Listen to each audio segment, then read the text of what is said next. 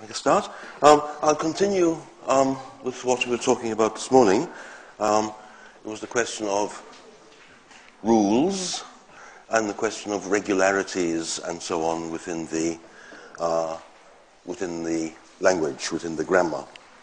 Um, so to recapitulate, um, the standard view, as I explained, was that knowing a language was to know a, a, list of words, a set of words, and a set of rules for combining the words. So the grammar, the dictionary plus the grammar.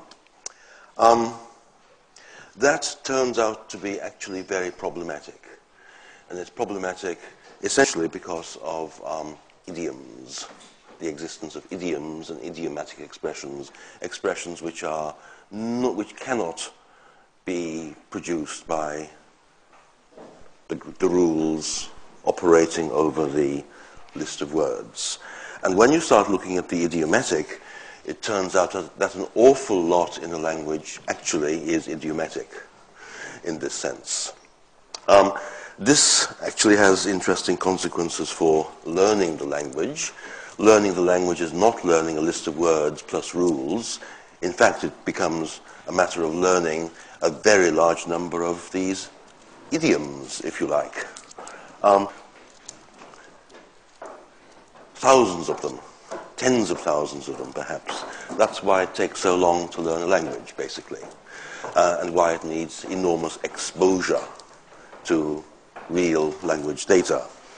Um, the exposure you get from listening, from reading, and, and so on and so forth. But it takes a long time, an awful lot of exposure for you to be able to build up this set of well, I'm calling them idioms, but the idiomatic actually um, is a very broad notion. It ranges on the, one, on the one hand from these obviously idiomatic things like kick the bucket um, to constructional idioms, which we talked about, um, which have which can be a topic that I introduced right at the beginning, Langacker's definition of a language or a grammar of a language.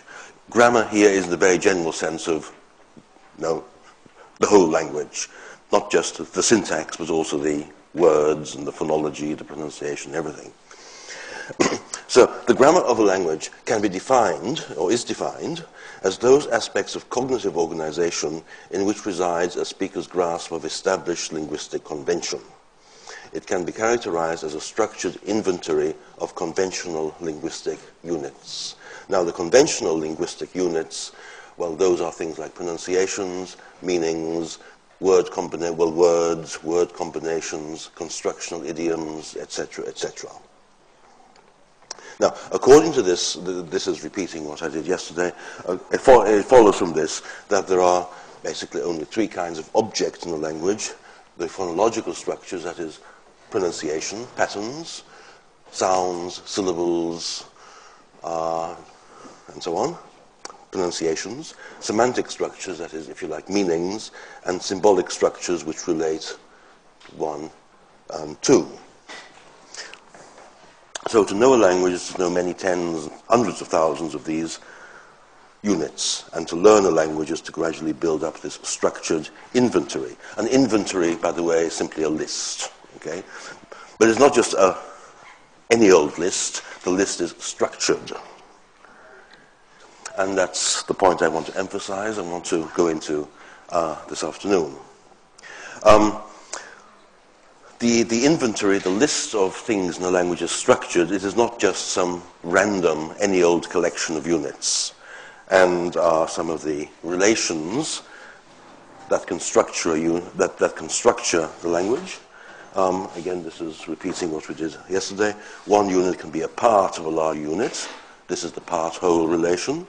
One unit can be schematic for another unit, which is an instance of the schema, and one unit can resemble another unit. And any particular expression usually has all sorts of relations to all sorts of other things in the language.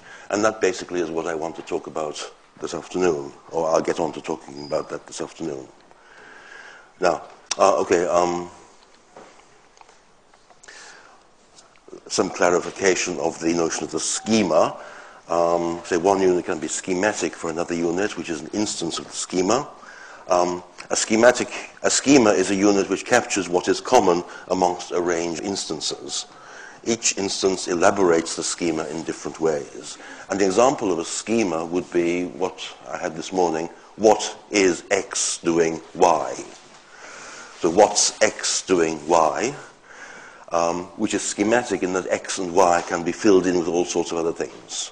So what's X doing Y is schematic for the whole set of expressions which instantiate, which conform to the schema. So the schema is fairly abstract. The instances would be, you know, what are you doing lying on the floor? What's this book doing on the table? What's the fly doing in the soup? Etc. So these would be the instances, and the schema is the generalization. But of course, the schema, what, what is X doing Y, of course, is complex. It has parts, parts being what is, the verb to do, and so on. Right, um, now, one important, okay, in, in cognitive linguistics, schemas capture generalizations over instances, and they are, in fact, the equivalent of rules. They are, the, they are rules, if you like. Um, although I've put, the, I've put rule in inverted commas, because the notion of rule is, in fact, a very difficult, is, in fact, a very tricky one. It's, um, for example, if you think of other kinds of rules, rules which you have in other areas of experience. You would have the rules of a game, right? To play chess, you have to follow the rules. The rules define the game. If you play chess and you don't obey the rules, well, in fact, you're not playing chess. Uh, the rules define the game. And there would be, and the notion of an exception to the rule actually um, the, the, idea of an exception to a rule in chess would not actually count. It, it, it's an incoherent notion. Because if you don't follow the rule, you're not playing the game. Right? Okay, so you have rules which actually define something. Then you have, for example, the traffic rules. You must drive on the right side of the road or on the left side of the road. Um, that is quite different, in fact, from the rule in a, in a game of chess, the rule simply says this is what you should do, this is what, what we want you to do. If you don't, then there are consequences. Um, now, the rules of language are not like that. It's not that this is the rule, you must follow it. If you don't, well, then you get punished or something. Doesn't work like that. Um, and likewise, uh, the rules of grammar are not like the rules of chess uh, because you can break them. There are exceptions. Uh, another use of the word rule would be for something like the, a scientific, well, not rule, a scientific law. If you drop something, gravity operates on it. Um, that has no exceptions, because it would mean that the laws of physics would be different. Right? And again, rules of language are not like this. So one of the questions I'm looking at, in fact, is what are these rules in language? And perhaps rule is not quite the right word. I prefer simply schemas and generalizations over the data. Um, now, one important point here is that the existence of a schema, to know the generalization, does not mean that the knowledge of the instances is erased. Okay, but if you see what I mean by that. Okay, so you, in learning English, you encounter expressions like, you, you hear somebody say, what's that book doing on the table? And then you hear somebody else say, what are you doing lying on the floor? And then you hear the joke about, what's the fly doing in my soup? So you hear these expressions, and then you notice that they are similar, and then you form the schema unconsciously, of course. But the fact that you have formed the schema does not mean that you have forgotten the examples on which the schema is based. So knowledge of the schema, of the, if you like, the rule, of the generalization, of the abstraction, can exist at the same time as knowledge of the examples. So this makes the network, in fact, the network of units very complicated and very dense. Right?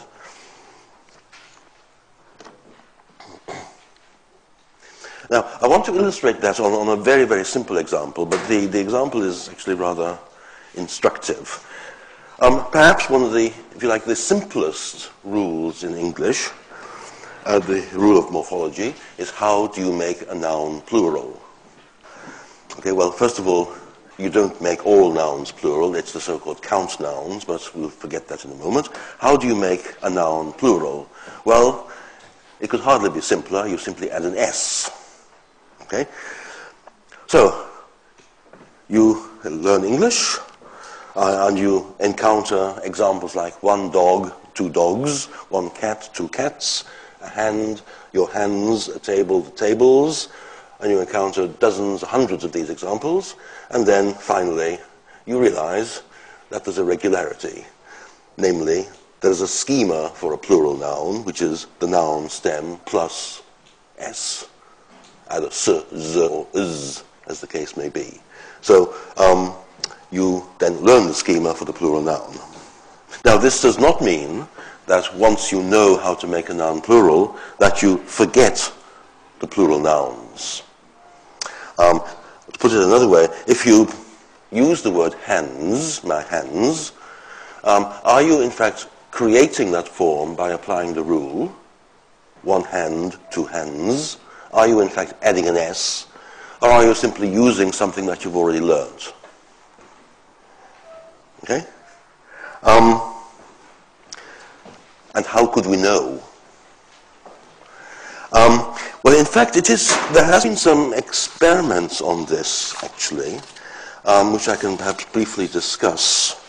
Um, how do you know, how can we find out whether English speakers actually store in their memories both the singular I and the plural eyes, or whether when you use the word eyes, you are in fact taking the form I and adding an S on the end.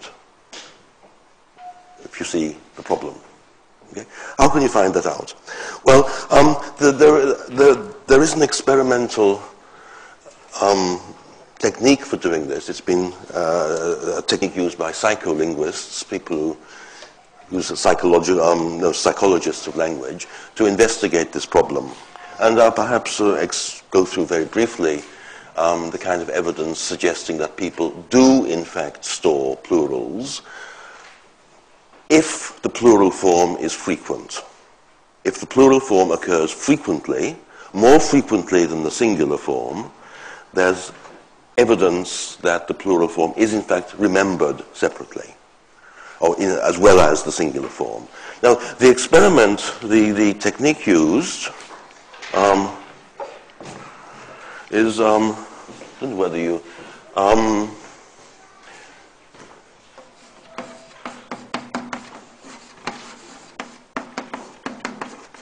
it's a technique called the lexical decision task, and the experiment is very simple. You're, lo- you're looking at a screen, and then a series of letters comes on the screen. It might be difficult with a language like Chinese, but Uh, a series of letters comes on the screen, then you must say as quickly as possible if that is a word or not a word. So you must decide whether it is a lexical item or not. So, for example, you might have the word I comes on the screen and you press your two buttons, yes, no, as quickly as you can. And you can usually make the decision in less than a second, obviously. Something else comes on the screen. Um, so if that comes on the screen, then of course you say, no, it is not a word. And of course, half the examples are words, half the examples are not words, so you have to pay attention. Okay, now the, it's, a, it's a very simple sort of experiment. And the crucial factor is, of course, how long it takes somebody to decide whether something is a word or not. Um, and it happens very quickly, and the measurements are, say, the time involved is less than one second. Okay?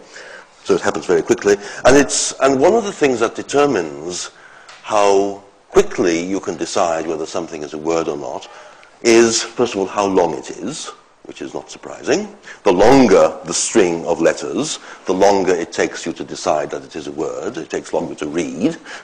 So three-letter things like that are very, can be decided very quickly. Ten letters takes much longer. So how long the string of letters is, is one factor. The other factor is um, how frequent the word is in the language. Um, so, for example, if you take another three-letter word,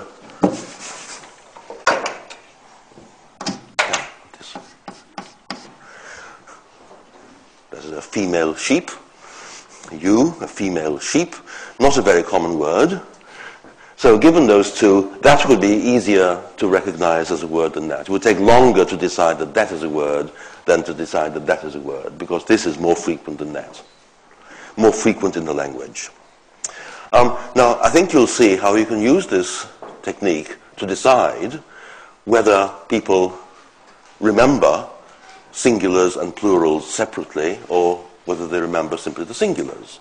You take words which occur predominantly in the singular, and words which compare, which, uh, which occur predominantly in the plural. Examples would be of a high singular noun. Um, that is a word which occurs quite often in the singular. A high plural noun would be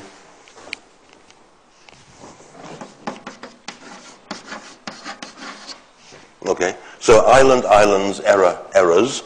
Um, you can get the frequency by looking at a corpus, for example. So this one occurs in the plural more often than that one occurs in the plural. So you do your lexical decision thing, and the crucial question is, is there a difference between recognizing the singular and the plural as a word? And it's found that for words which have high frequency plurals, the plurals are in fact easy to recognize, but the words with low frequency plurals, then the plurals take longer. Right? So that is a sort of evidence that people do in fact store the plurals. In other words, you, st- you store the output of the rule. Right? It's not, it's not the question whether you know or have the rule, but the idea, well, the standard view would be Okay, you have the rule, you make the singular, you add the s, and you make the plural. So the plural is the output, the result of applying the rule. But it seems that people actually remember, store the output of the rule as well as the rule itself. See what I mean? And what they store, what you remember, is dependent on how frequently it occurs in the language. So frequency frequency of occurrence is actually a very, very important notion. And frequency, um, in cognitive linguistics or cognitive grammar, that is often referred to as a degree of entrenchment of form. Something is entrenched, it's sort of deeply ingrained in your mind because you've used it or heard it a large number of times. So frequently occurring expressions are, if you like, learnt more than rare expressions. Okay, now that is a fairly straightforward, actually, and it's um, and this can be illustrated, as I say, quite nicely on the examples of plurals. But let's go on now and look at what exactly some of the differences would be between the cognitive linguistic account of rules and applying rules and the traditional view. Uh, now, um, still keeping to the question of plurals. Now, the plural in English is a is a nice illustration of this because the rule is pretty pretty simple. You could hardly imagine a simpler rule in the language. Um, it simply says add an S now, there was um, a study conducted in 1958, a long time ago, by Jean Berko, and it's a study which is cited, quoted, referred to very, very often. And what she did, she wanted to find out whether children learning English, whether they have the rule to make nouns plural. So how can you find out whether children have the rule? Um, well, she argued that you couldn't, it, it's not sufficient to say whether they know that the plural of dog is dogs, because perhaps they've encountered, they've come across the word dog, they've come across the word dogs, they've learned both of them, and if they say one dog, two dogs, perhaps they're simply repeating what they've learned by heart.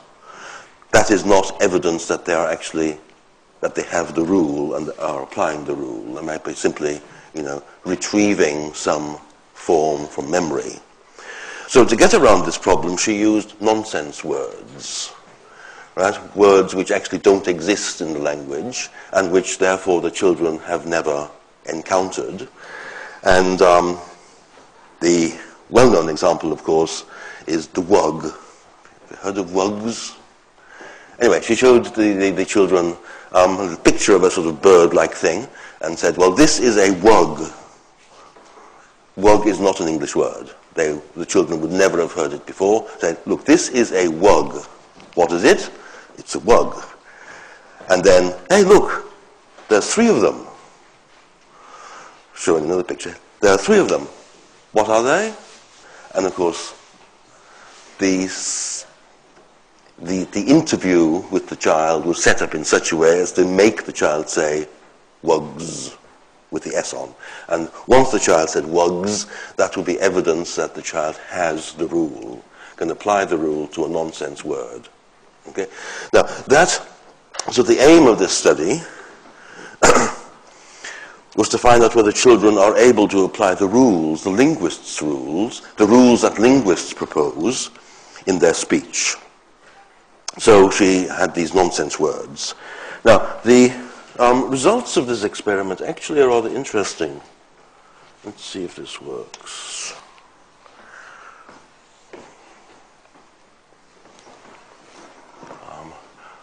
Okay. First of all, she started out with, with a real word, glass, and one glass, several glasses. And there were um, two groups of children, preschoolers, uh, they were at four, three to four years old, and first graders about six, six or seven. Okay, now glass was put in um, as a kind of control. Um, glass is a word that the children would know, and they produced, as you see, 75% of the preschoolers, almost all just about all of the first graders produced the correct form glasses. And a reasonable assumption there would be, well, they've heard the form glasses, they've learned the plural. But now look at the, uh, what happens to the nonsense words. First of all, wug. Um, preschoolers, about three quarters had it, and when you get to the six, seven-year-olds, just about, they all had it. They all knew how to make the plural without mistake. And then as you go through the examples, lun, luns, tor, tors, heaf, heaves, heaf, heafs, heaves, cra, cras, and then, okay, know, 79, it's about, know, just about all of them got it. Even, well, six or seven year old, and even the, and even the young ones had it. But then you get the last four. Tas, gutch, cash, and niz as nonsense words. Notice that with TAS, even the six and seven year olds, most of them didn't get it. And with Niz, again, most of them didn't, didn't get it. And with, with, with Niz, yeah, only, only about a quarter of these kids got it. Which is, if you think about it, that is actually quite remarkable. The rule could hardly be simpler, right? Um, it's a rule which has very few exceptions, although the, I'll come back, I'll come to the exceptions in a moment. So it's a very, the rule could hardly be simpler. Um, if there is a rule that applies more or less across the board to everything, then this is it. Uh, but you find that even six or seven year olds, kids already at school, um, couldn't make the plurals of these nouns. Um, okay, you may be asking what did they do then? if they couldn't make the plural. Well, what they did, they simply um, didn't do anything. One niz, two niz. One tas, two tas. One gutch, several gutch. They just didn't add anything. Um, so, what was going on? How to account for this? Um, so, uh, even six or seven year olds performed poorly on the nonsense words tas and nis and so on, and their response was simply one tas, two tas. And Berko responds, Berko writes in her article that some of these children were actually very confident. One tas, two tas, no doubt about it. They were very confident about this. okay, so what was going on? One possibility for this, for the high error rates even for these six, seven year olds, which is quite old for language acquisition, one possibility is that tas and nis, although they're not English words, they sort of look plural or rather they sound plural because they end in a sort of S sound. So tas and so the plural ending is a s, z, and if you have a word which ends in s, z, it already sort of sounds plural. Therefore, well, that is the plural.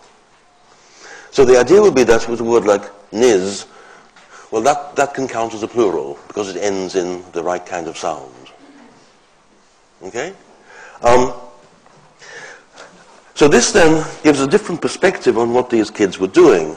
When they were forming the plural, when, when asked to make the plural, they were not, in fact, adding the plural ending according to the rule.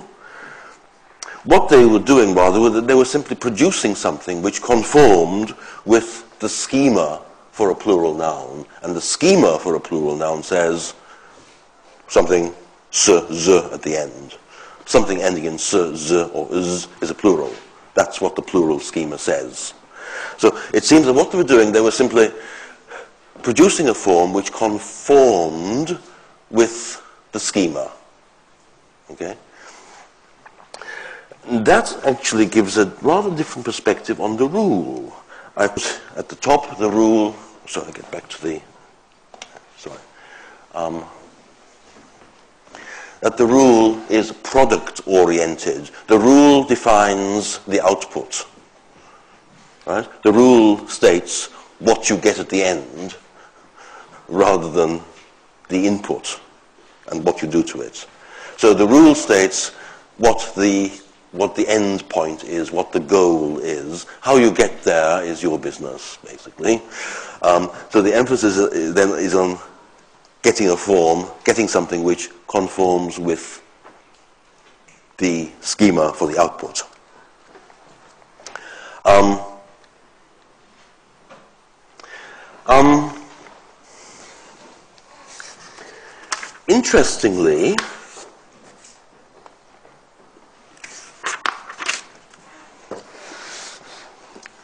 that actually applies to some extent also um, for the past tense forms.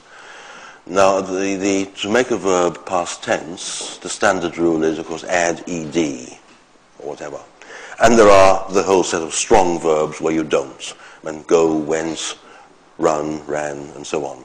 Um, but there's also a very small group of verbs where you don't actually do anything, where the past is the same as the present. Okay? Such as put. I put, he puts, he put.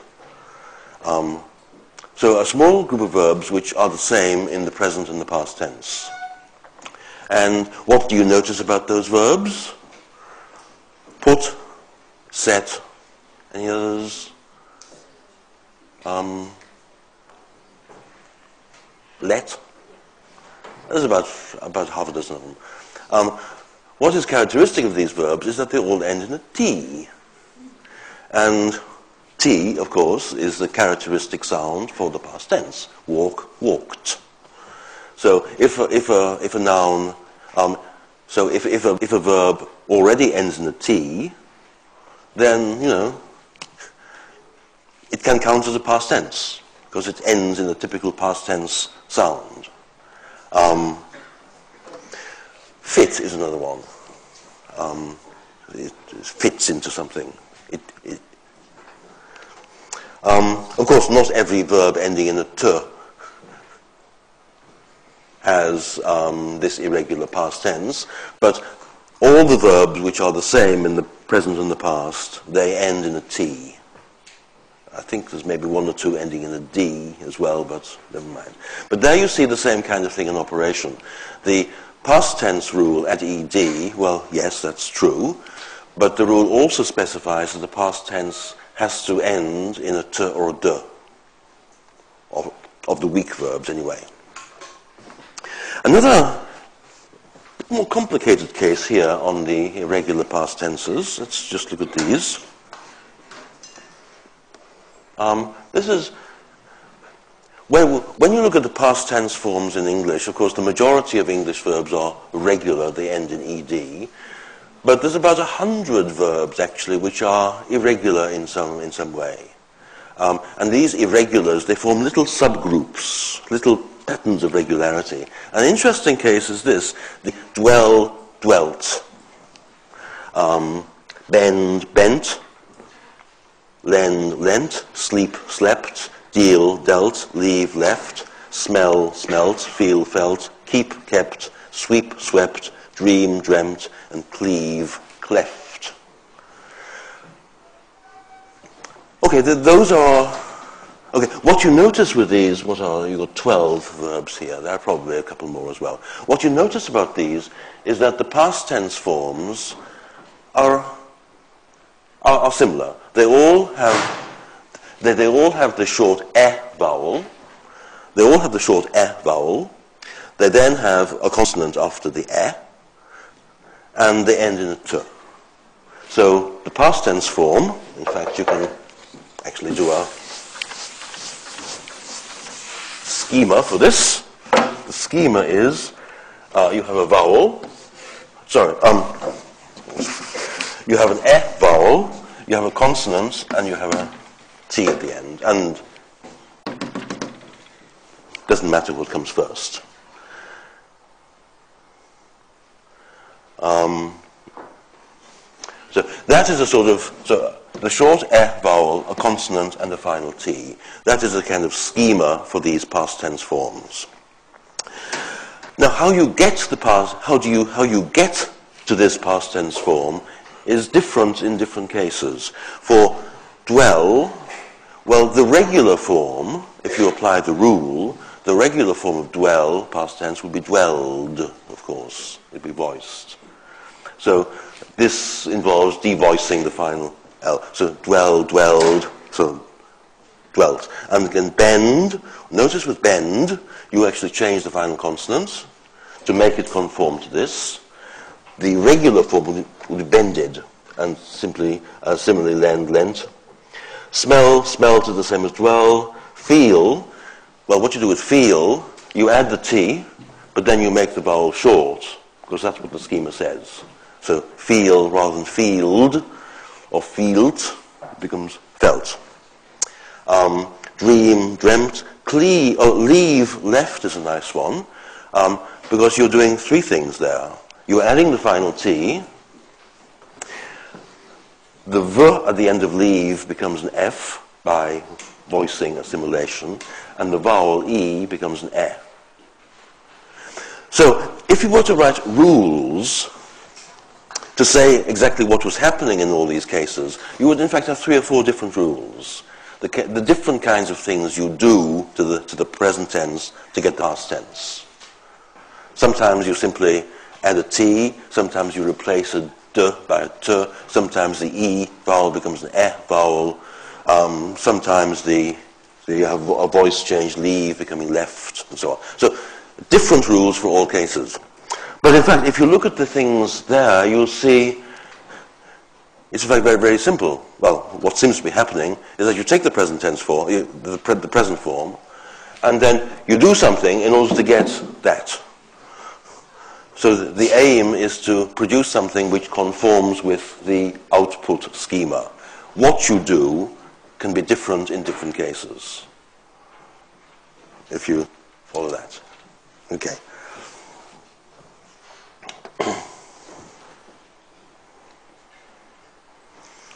Okay, now, coming back to the plural forms.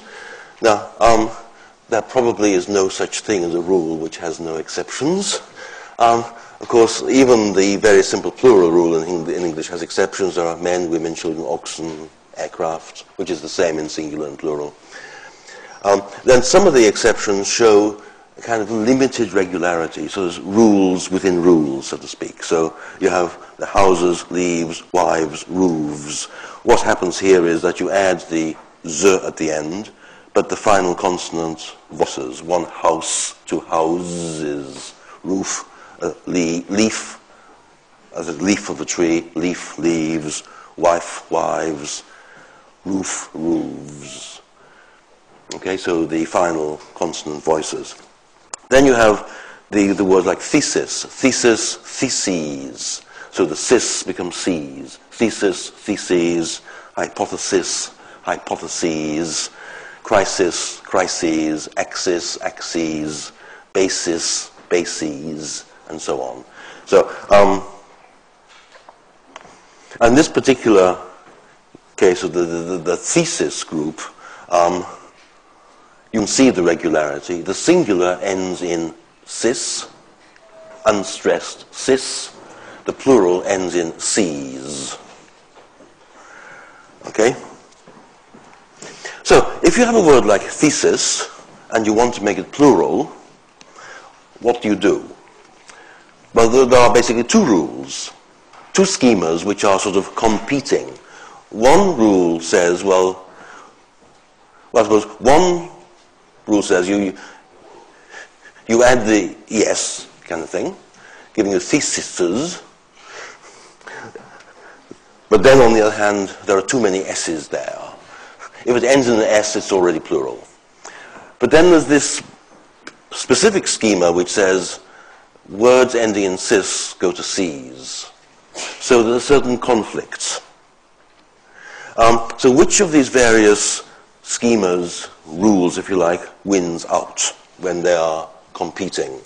Now, in general, it would seem, a general principle is that the more specific schema, the schema which has more information in it, Right? The, the, the, the, schema which is less schematic, if you like, the schema which has more specific information, wins out over the more general one. And there is, in fact, here a very general cognitive principle uh, which has been invoked in many contexts. Specific information overrides general information. Right? Specific information overrides, cancels out general information.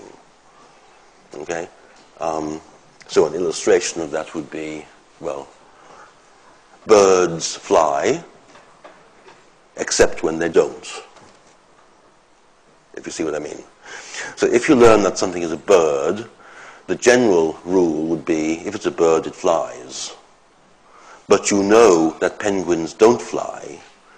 This is specific knowledge about penguins, and the specific knowledge then overrides the general knowledge. Right? So the specific knowledge that you have about penguins, the fact that they don't fly, um, um, takes precedence over the general knowledge that birds fly. So specific knowledge is able to override, becomes more important cancels out general knowledge. So the specific schema for words like thesis, theses overrides the general schema for adding es. Basically what happens here, I think, is because man and men are both very frequent words, and the plural is very frequent, your knowledge of the plural, in fact, overrides everything else. So the exception, in fact, becomes a rule for itself. So irregulars, things like men, man, men, may be entrenched through frequent use, and in effect the exception becomes its own rule. Right? The, the, your knowledge of the exception overrides um, any other particular rules. Um, now, frequency is actually involved here, as I, as I, mentioned. Let's look at the other group, the, the other kind of irregulars, words like roof, roofs, um, leaf, leaves, wife, wives. Um, okay, you have leaf, leaves, life, lives, wife, wives. These, I think, are pretty standard in English. However, if you have a word like roof, the roof of a house, um, I think quite a few English speakers actually vary between roofs and roofs. I guess the standard reference grammars would say roofs, but lots of people actually say roofs. And when you get to hoof, hooves, um, you know what a hoof is? It's the thing of the, the horse's leg. Uh, the horse hooves at the bottom of his legs where you put the shoe on.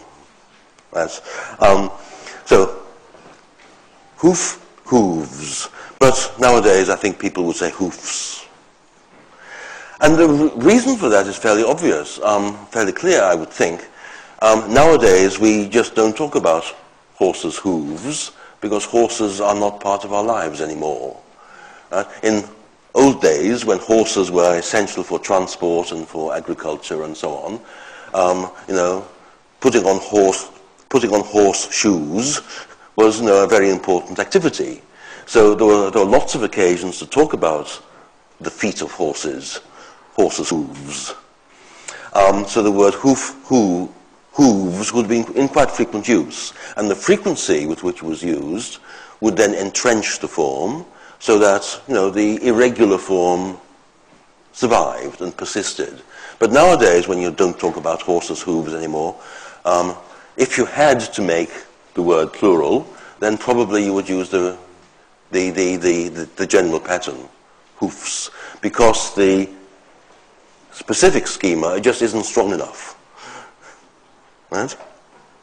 Um, and if you look at the word leaf leaves, well, the leaves of a tree, well, I would imagine this is one of those words which you use predominantly in the plural, uh, because leaves come in large numbers.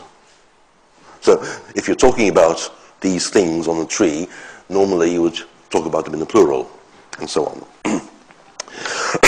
And sometimes you can actually observe uncertainty. What's the plural of oasis? Which is a nice one. I've tested this out on people and you get different responses. First of all, oasis, you know, the water in the desert. Right? Um, it's not a very common word. um, and it's the kind of word that you would hardly ever use in the plural.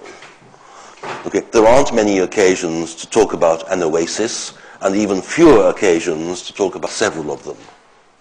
So if you had to form the plural of oasis, you have a sort of problem. You haven't heard it before. It ends in cis, so perhaps it's like thesis, but perhaps it isn't.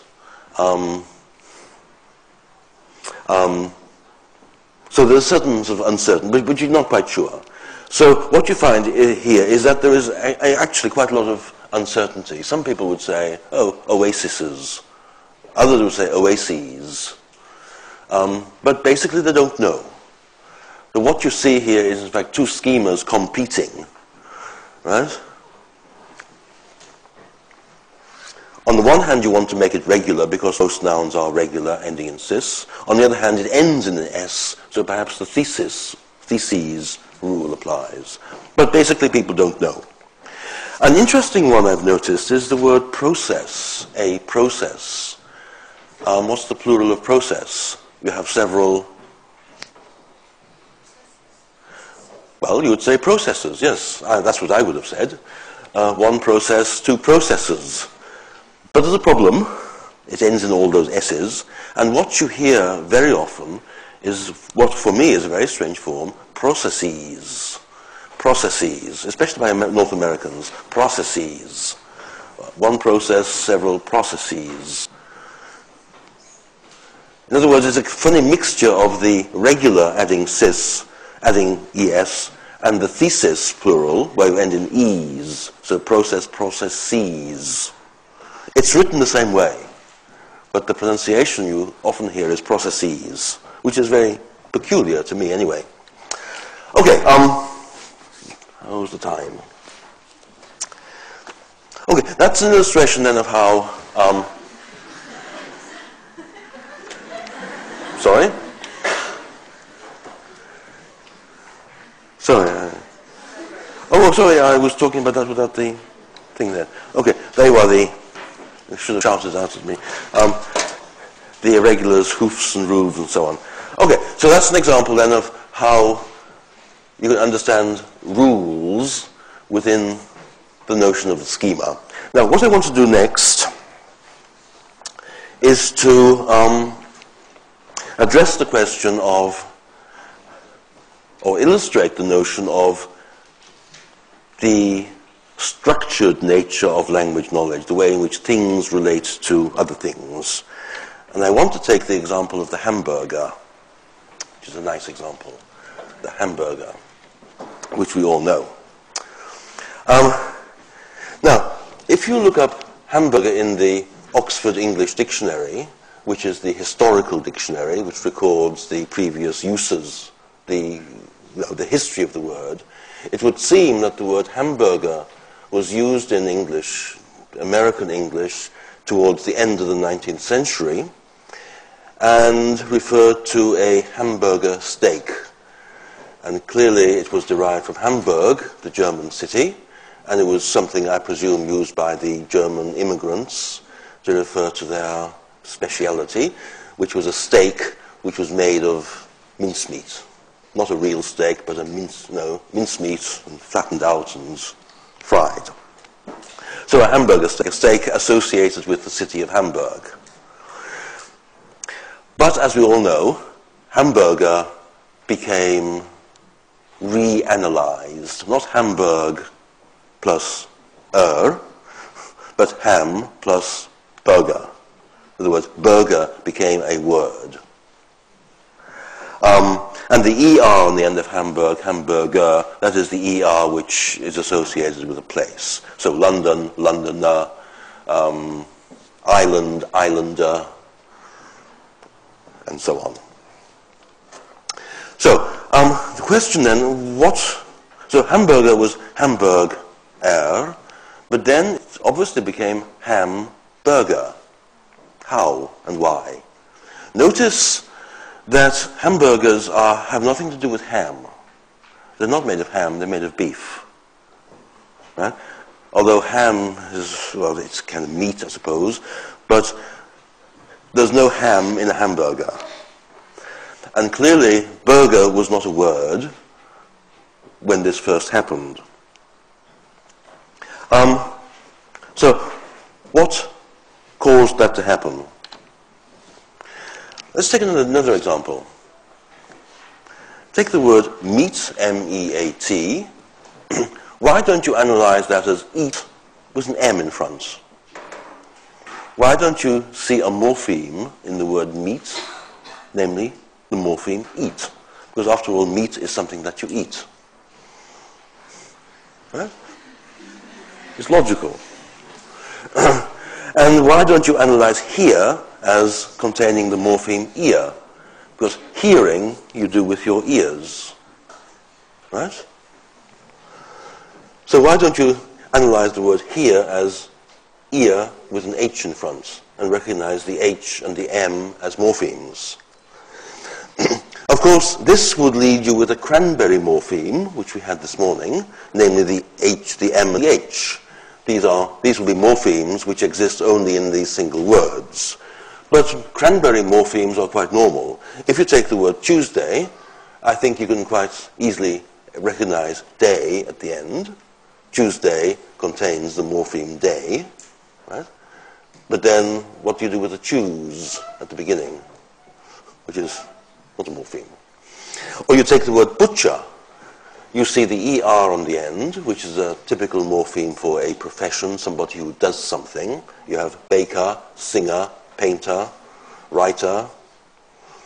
Um, so singer, one who sings, dancer, one who dances, um, butcher, one who butchers. The point is there is no verb to butch. To butch is not a verb. So a butcher, uh, it's the name of a profession, somebody who does something. The ER on the end is a typical morpheme for a profession, for an activity, but then you're left with this butch at the beginning, which is not a morpheme. Well, it is a morpheme, but it occurs only in that one word. So cranberry morphemes like this are everywhere, in fact, they're quite common. So to analyze meat as eat plus m, uh, the fact that m is not a morpheme anywhere else, there's actually no argument for this. The real reason, as I explained at the bottom, is that there is, in fact, in English, no general pattern for deriving words by adding a consonant at the beginning of something. In English, you derive words by adding things at the end, you know, dance, dancer, London, Londoner. Um, but the way English is structured, you don't derive words by putting a consonant at the beginning. It's just not English. There is no general pattern in English for deriving words, for making words, by putting a consonant at the beginning. So although it would make semantic sense, you can see the connection between meat and eat, this would not be possible because basically there is no schema for it. There is no pattern in the language for doing this. There is no schema of which mm, eat would be an instance. So coming back to the hamburger, and here my phonetic symbols have gone funny. How could hamburger have been analyzed as hamburger? Well, one, the reason I suspect is because of the pronunciation. And here I'll, these strange symbols, pronunciation, like that hamburger, that's what that thing is supposed to be. If I put in the stress marks, you are familiar with all the symbols. There's a hamburger, main stress, secondary stress, hamburger. This is a long vowel hamburger. Um, the, the, stress pattern of this is characteristic of a compound noun, like dog lover, meat eater, bus station, hand signal, housewife, airport, and hundreds more. So it has the stress pattern of a compound noun, like bus station, hamburger. Um, so it conforms with, with, a general sort of schema for compound nouns. And because, and because of its pronunciation, the stress pattern, and um, because of this, it then sort of becomes possible to sort of analyze it as a sort of compound noun, like housewife, bus station, airport, um, hand signal, and so on. Um, now, once you've done that, then of course that can emerge as a separate word, which indeed, which indeed it has. Um, and your hamburgers, cheeseburgers, and all the rest of them. Okay. Um, so that's actually a very simple example of how no, the, the relations within the language actually caused that to be analyzed as it did. Another example of how things in a language are structured, that a language, as I say, is not just a set of random items, but they're all sort of related. Uh, this is a very common phenomenon uh, in connection with prepositions. Um, if you look at the examples here, he ran round the corner and he lives round the corner, you will see that round the corner means something different in the two cases. Um, I could illustrate that visually.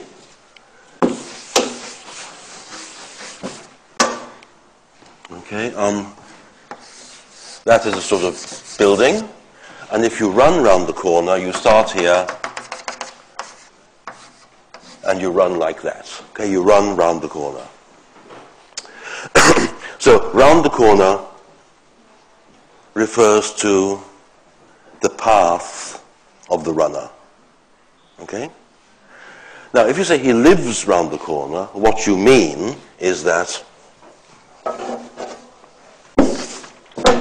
Okay, there is the building, he lives there, but there's a kind of imaginary, that's an I, you're looking at the scene from here. There's an imaginary observer. We are here and he lives there.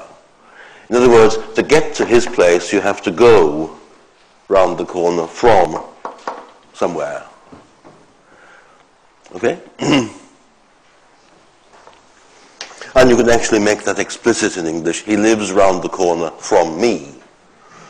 I live here, he lives there. Or he lives round the corner from here. We are here, he lives there. so that would be a case of the polysemy of round, or rather round the corner. It can refer here to the path, okay? And here it is the end point of an imaginary path. Right? An imaginary path from somewhere like that. So the so the thing is polysemous. Polysemous, it has two meanings. Now, um,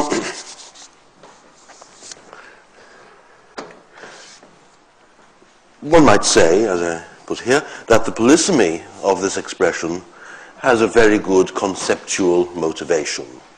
Basically, it's a case of um, metonymy. Metonymy um,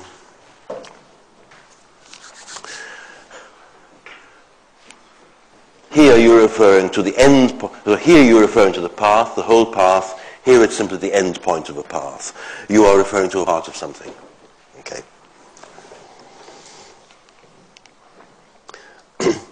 So there's a clear sort of conceptual relatedness between those two. Um, does that work in Chinese like that? To go around the corner and to live around the corner? Okay.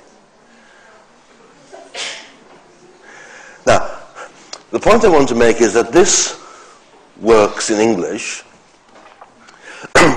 not only because it sort of makes conceptual sense, you can actually see the similarity, but it works because it's a very general phenomenon in the language. In general, a preposition which can designate a path, you know, of where you go, can also designate the end point of a path. and here are some examples.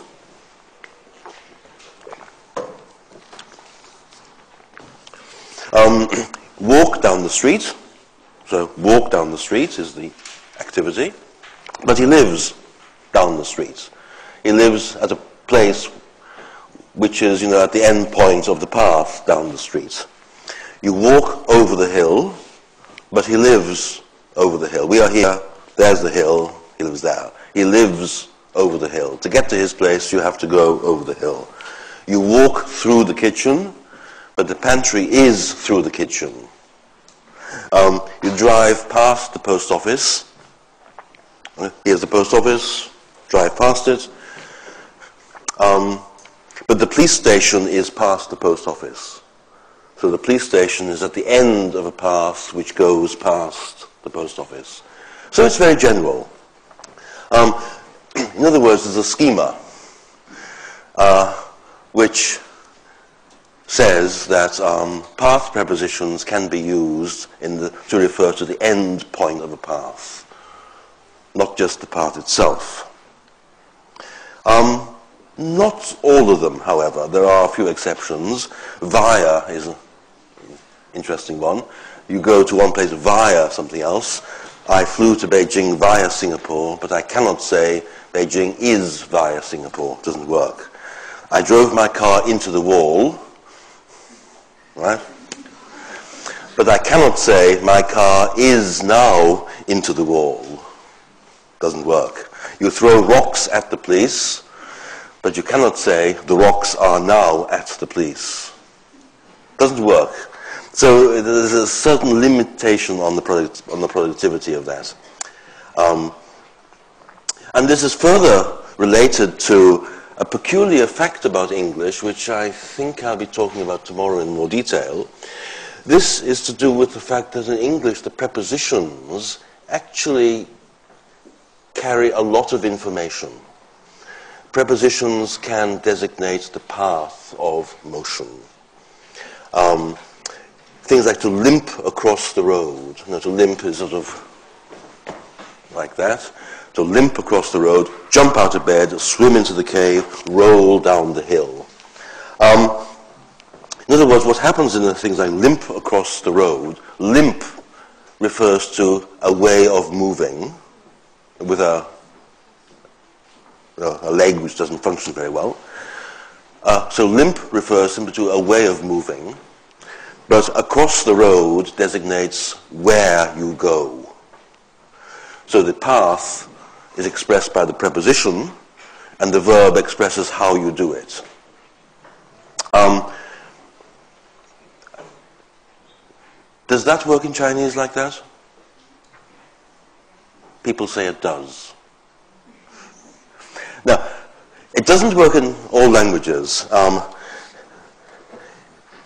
in other kinds of languages, you cannot say, I limped across the road. You have to say, I crossed the road limping. You cannot say, I jumped out of bed, but I went out of bed with a jump. or I swam into the cave, you would have to say, I entered the cave swimming. And I rolled down the hill, I descended the hill rolling. Okay? Um, so the fact that you can say, I ran round the corner is actually supported by a lot of other things in the language. It's supported by the way in which prepositions are used, the way in which past prepositions are used. Um, uh, okay, here are a couple of examples where you cannot say this.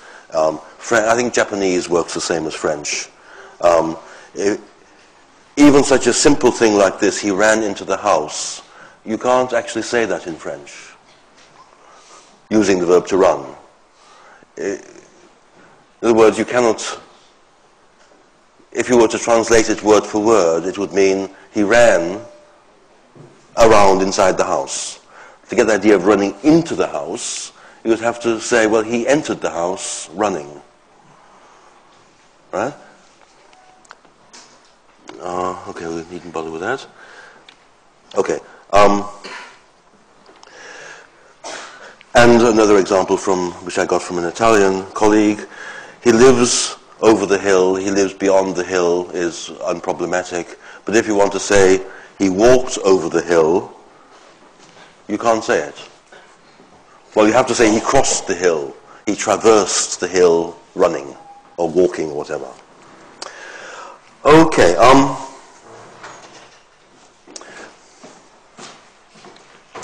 that then is a sort of illustration of um, a very small illustration of the way in which things are all sorts of interrelated and the set of things in the language is structured. In other words, the fact that you can say in English,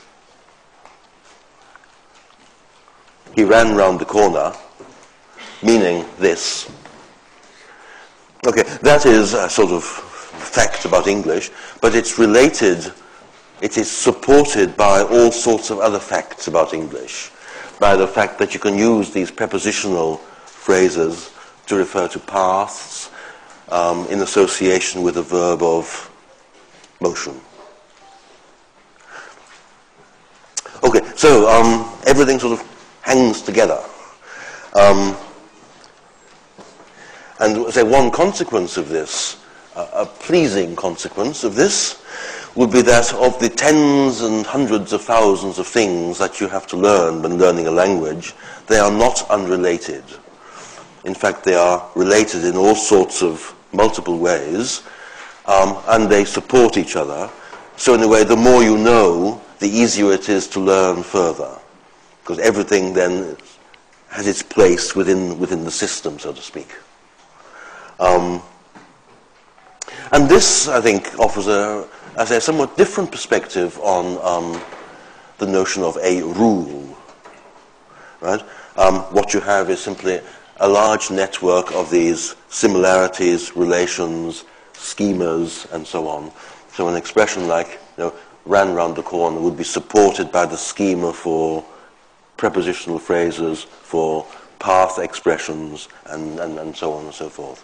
And the fact that you can also say he lives round the corner would be supported by the fact that you can use other path prepositions in a similar way.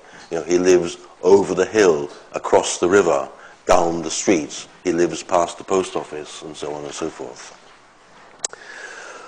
Okay, now I have another example of this, which possibly, yeah, things are, is another idiom I want to talk about. Bang goes my weekend, which I mentioned this morning, which is actually another rather nice illustration of the way in which things are hanging together and are supported. Um, but maybe actually I'll, I'll, delay that to another occasion, for another occasion. Um, so we promised we would have some questions and general discussion. So maybe we'll sort of stop for about five minutes or so while you get your ideas together. And then we'll, um, if you have any questions for topics for discussion, we'll um, do our best. Okay?